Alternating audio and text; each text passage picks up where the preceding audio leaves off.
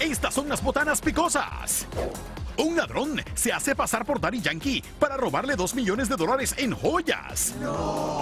La prensa española hace eco de esta increíble historia cuando una persona disfrazada como el cantante solicitó a un empleado del lujoso hotel Melia Valencia que le abriera la caja fuerte de la habitación del Cangri, de donde se llevó, sin levantar sospechas, valiosas joyas y 2.500 dólares en efectivo. Un robo del que nadie se percató hasta que Yankee regresó a su habitación y se dio cuenta de lo que había sucedido.